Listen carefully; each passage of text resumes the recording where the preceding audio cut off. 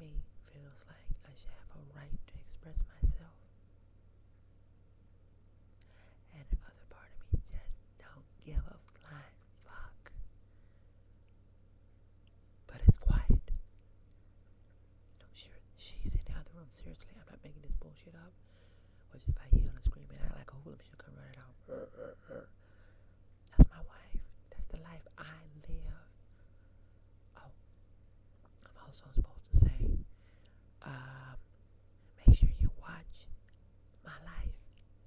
Thursdays.